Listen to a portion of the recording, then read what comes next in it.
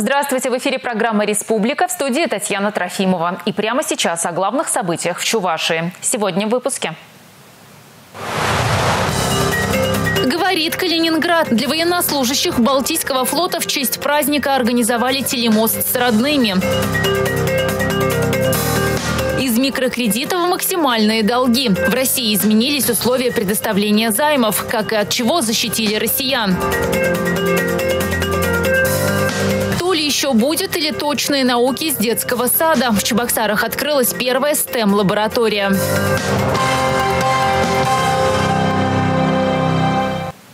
На связи Чувашия и Калининградская область. Военнослужащие Балтийского флота, уроженцы республики, смогли поговорить со своими родителями, несмотря на расстояние. Цифровые технологии это позволяют. Подробности у Дмитрия Ковалева. Такая возможность пообщаться с родными по видеосвязи военным морякам выпадает крайне редко. В распорядке экипажей боевых кораблей ни минуты свободного времени. Эта служба и трудна, и почетна. Балтийский флот стоит на страже западных рубежей страны. Сыновья возмужали, говорят мамы новобранцев, не скрывая слез. Мы тоже очень рады, что сын, сыновья служат у вас. Достойно выполняют свой воинский долг и с праздником всех мужчин и женщин тоже, потому что мама – это крепкий тыл мужчины. Сын Ирины Разживиной, Никита, уже планирует остаться на флоте, служить по контракту. Папа у Никиты, он у нас служил в Германии, он прапорщик, а то, что он в полосочку, мне очень нравится. Чувство родителей моряков, временно исполняющие обязанности главы региона, понимает прекрасно. Олег Николаев, вот он на фото, дослужился до заместителя командира взвода, а сейчас его старший сын, курсант военного училища. Сейчас он на третьем курсе учится, а, будущий офицер. Ну вот сейчас уже похоже, ну я вижу во всяком случае по эмоциям, ему очень нравится, а, потому что ну, человек, во-первых, привыкает, а во-вторых, когда э, все-таки привыкаешь вот этому режиму, дисциплине, возникает и гордость тем, что делаешь, что что-то получается. Очевидно, что вот такие э, наши современные боеспособные вооруженные силы, как на суше, так и на воде, очень э, важны для того, чтобы позиционировать нашу страну как равноправного участника международного права. Название Чувашия ракетному катеру было присвоено пять лет назад, а в конце 2017 года и у города Новочебоксарск появился подшефный корабль. У республики и Балтийского флота давние связи. Долгое время западные широты охранял и пограничный сторожевик Чебоксары. А, также мы представляли нашу республику на главном военно-морском параде последние три года подряд. В этом году также планируется. Ребята, которые э, проходят службу по призыву, достойно завершат свой год службы. Лучшего примера для призывников трудно пожелать. Слова благодарности командующим флота Олег Николаев выразил за заботу о ребятах. Всех их мы ждем бравыми, здоровыми, готовыми дальше уже служить здесь, на территории Чувашии и решать, ну, уже, может быть, не военные, а гражданские, но не менее важные задачи по, разви по развитию нашей республики. Ну а делегацию республики ждут в Балтийске на торжествах, посвященных Дню военно-морского флота. Дмитрий Ковалев, Андрей Спиридонов и Павел Редков. Республика. Решить наболевшие вопросы при личной встрече. Сегодня временно исполняющий обязанности главы республики работал в общественной приемной президента. С какими просьбами обратились жители, смотрите далее. Да, здравствуйте. Присаживайтесь, пожалуйста. Если бы супруги Савко пришли на прием к Олегу Николаеву с сыновьями и дочками в рабочем кабинете, стало бы тесно. В семье шестеро детей и, пожалуй, их главная проблема – небольшая квартира. В очереди на улучшение жилищных условий стоят долгие годы. Когда у нас родился пятый ребенок, а, нас перевели а, в льготную очередь под номером 26 это было в 2013 году. Но, конечно, обещали, что через полтора-два года мы получим жилье, но время идет.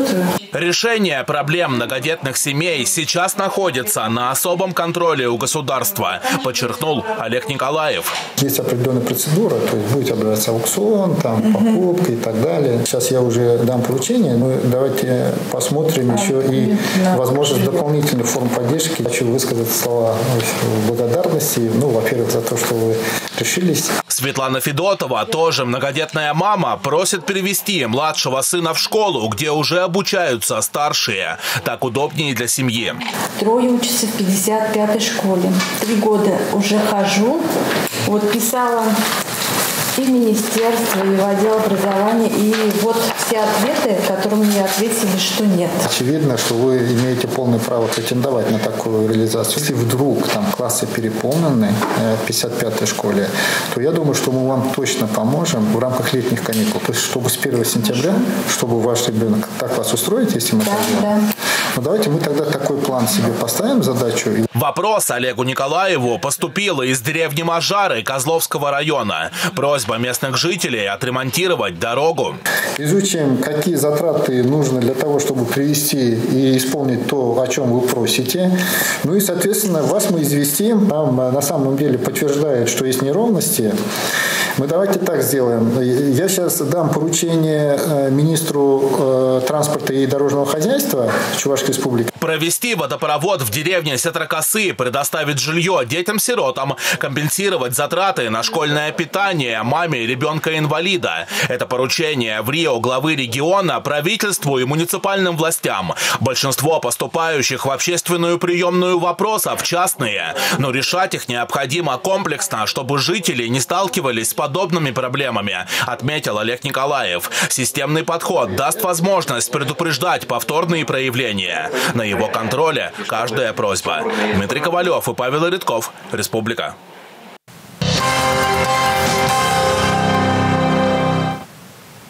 С этого года на законодательном уровне изменились условия предоставления кредитов и займов. Это касается банков и микрофинансовых организаций.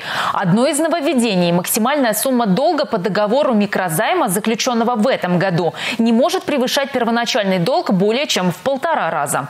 Теперь после достижения этого показателя кредитору запрещается начислять проценты, неустойки, взимать пени и другие платежи. Чувашии 18 микрофинансовых организаций. Они быстро и без большого пакета документов выдают займы населению. При этом берут огромный процент. Часто между клиентами и такими организациями возникают споры. С этого года для рассмотрения таких денежных вопросов можно обратиться к финансовому уполномоченному, если размер требований клиента о взыскании денег не превышает 500 тысяч рублей. В конце прошлого года МФО запретили выдавать займы под залог жилья. Эта мера прежде всего была направлена на э, борьбу с черными кредиторами, которые себя выдавали за законопослушные МФО и проводили рискованные сделки с единственным жильем заемщика. Все банки и микрофинансовые организации при предоставлении кредитов и займов от 10 тысяч рублей обязаны рассчитать клиентам показатель долговой нагрузки. Он поможет заемщику оценить свои возможности по погашению долга, а кредитору при необходимости выдать меньшую сумму займа. Это э, соотношение э, платежей, которые, в общем-то, платежей по всем ранее непогашенным кредитам займам а, относятся к его э, ежемесячным доходам. Если, конечно, такие э, платежи уже достигают, сумма по таким платежам достигает 50% и выше, то такой ПДН считается высоким. Сотрудники Национального банка рекомендуют хорошо взвесить свои финансовые возможности при оформлении кредита или займа. И обязательно убедиться, что банк или микрофинансовая организация – легальные участники финансового рынка. Сделать это можно на сайте Банка России. И всегда внимательно читайте документы перед тем, как их подписывать. Стартовала декларационная кампания этого года. Как обычно, она продлится до 30 апреля. О налогах с доходов и вычетах при тратах в нашем сюжете. Добросовестные налогоплательщики знают все. Ежегодно они приходят в налоговую инспекцию и уже детально пошагово знают, какие документы надо сдавать и заполнять, чтобы не нарушить закон. Кто-то делает это в электронном виде, а кто-то по-прежнему приходит проконсультироваться со специалистами ведомства и сдать декларацию лично. Но каждый год появляются и новички, те, кто первый раз заполняет необходимые документы. Кто продал квартиру, земельный участок, дома, кто сдавал свое имущество в аренду, они обязаны сдать декларацию до 30 апреля этого года. Не направляют. Платить налоги нужно из доходов в виде дорогих подарков, полученных не от близких родственников, и с выигрышей в лотереях. Отчитываются о своих доходах и индивидуальные предприниматели. Для тех, кто не предоставит декларацию вовремя, предусмотрены штрафные санкции. Специалисты налоговой службы напоминают, можно также оформить налоговые вычеты и вернуть часть потраченных средств. Кто лечился, кто квартиру купил, у кого дети учатся, они могут до конца года сдавать декларацию и получить вычеты. Личный кабинет на официальном сайте ФНС России, налоговая инспекция, многофункциональный центр. У налогоплательщиков теперь есть выбор для оплаты. Александр Соловьев, Андрей Шоклев, Республика. Сегодня в Чувашии стартовал восьмой открытый региональный чемпионат «Молодые профессионалы» World Skills Russia. Всего в конкурсах примут участие 320 специалистов. Участники будут соревноваться по 63 компетенциям на 18 площадках, которые развернутся на базе профессиональных образовательных организаций республики. Оценивать работу конкурсантов будут более 470 экспертов.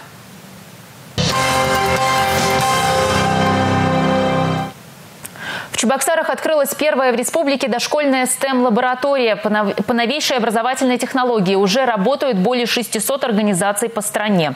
В их числе Чебоксарский детский сад номер 7 «Созвездие». Какая интересная деталька. Где нам ее найти?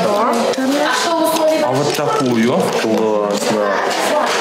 Построить летучий корабль, придумать и создать игрушку мечты. Все реально с системой STEM.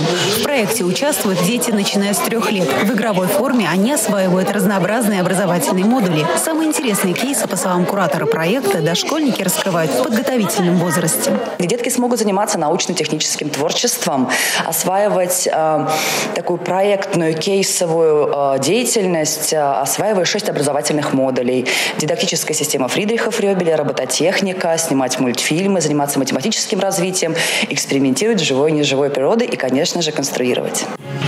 Детский сад номер 7 получил сертификат инновационной площадки по апробации программы STEM образования детей дошкольного и младшего школьного возраста. Пять педагогов учреждений прошли специальное обучение в Москве и теперь проводят мастер-классы по разным направлениям. С опытными наставниками ребята учатся понимать и выстраивать логическую цепочку, сформировать навыки работы в команде. Сделать мультик самому – это неотъемлемый труд.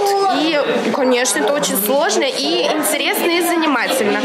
И фигур для мультиков они также могут сделать сами из пластилина или использовать готовые. Сценарий тоже можно использовать по какой-либо сказке или же фантазировать, да, ребята? Очень здорово, что открылась в нашем саду такая лаборатория. Теперь нашим детям, я думаю, то, что будет интересно, познать первый опыт, изучить точные науки, информатика, там, технология, техника, инженерия. Не выходя из детского сада, получить знания какие-то. И я думаю, то, что моим двум сыновьям пригодятся эти знания и полученный первый опыт в этой лаборатории в будущем. Опытом новаторов уже заинтересовались коллеги из других дошкольных учреждений. С внедрением необходимой материально-технической базы это станет возможным для большего количества образовательных учреждений. Наталья Мальчикова, Маргарита Мельникова, Игорь Зверев, Республика.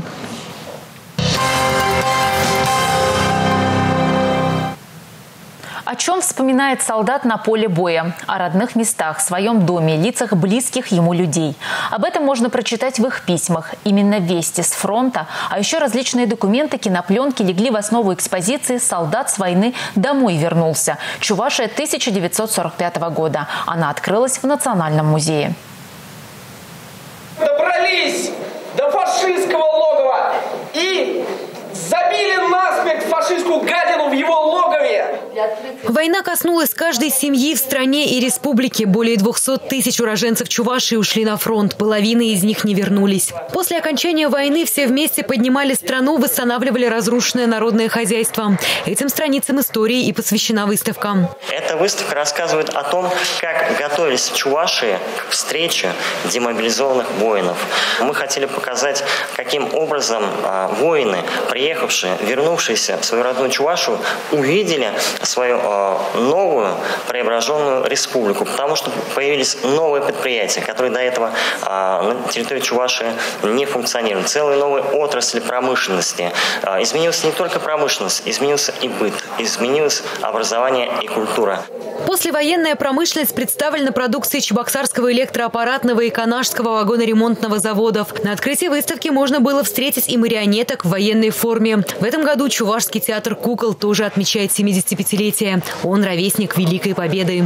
Еще до Победы Сергей Макарович Мерзляков, основатель нашего театра, приехал в город Чебоксары, а точнее в город Ядрин, чтобы основать театр кукол. И основал его, понимая, насколько солдатам войны необходимо эмоциональные всплески, когда они видят э, средствами искусства, что будет показано, в том числе и театр кукол. Это сатира прежде всего, это высмеивание фашистских захватчиков. Выставка словно машина времени. Здесь и интерьер избы тех лет, и реконструкция кузова советского грузового автомобиля «Полуторки». В экспозиции представлены и личные вещи героев, участников Великой Отечественной, фотографии и документы из фондов музея, архива, киностудии. Юлия Важенина, Алексей Зотиков, Бахтияр Велиев, Республика. Всероссийская гонка «Лыжня России-2020» в Чувашии все же состоялась. Выручила трасса регионального биатлонного центра. Там сохранился снег. За участниками массовых стартов наблюдала наша съемочная группа. Аномально теплой погоды в этом году дату проведения лыжни каждый субъект выбирал самостоятельно.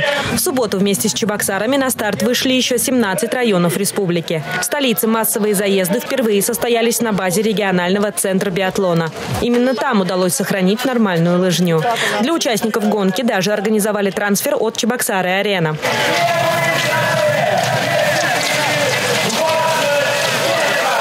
Спортивная часть программы открылась ВИП-забегом. В этом году его дистанция составила 2020 метров. На самом деле лыжня подготовлена просто отлично. Погодные условия замечательные. Самыми юными участниками лыжни России стали четырехлетняя Александра Кускова и пятилетний Никита Маклашкин. Самый массовый заезд на трехкилометровую дистанцию. Он для тех, кто не представляет свою жизнь без лыжни. Через год после окончания финской войны мы переехали в город Выборг. Вот там уже в двухгодичном возрасте у меня уже были свои лыжи. Нынче у меня 80-й год, как я на лыжне. Без спорта никуда. В этом году в Чувашии в массовой гонке приняли участие около 47 тысяч человек. По всем составляющим сегодняшнее мероприятие получилось. В первую очередь, это наличие снега, отличной погоды, солнечной погоды, ну и самое главное, улыбок на лицах участников. Богдана Дойникова, Игорь Зверев, Республика. Это главные новости к этому часу. До свидания.